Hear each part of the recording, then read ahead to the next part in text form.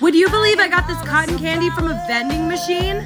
This is Shorely Sweets and it's located at Whalers Village in Maui. For $10, you can make your selection and the robot will make you a perfect cottony candy. If a robot can do this, it can certainly rip all of our faces off and take over the world. But until then, I'm going to enjoy this delightful treat because you never know when the robot uprising will be and when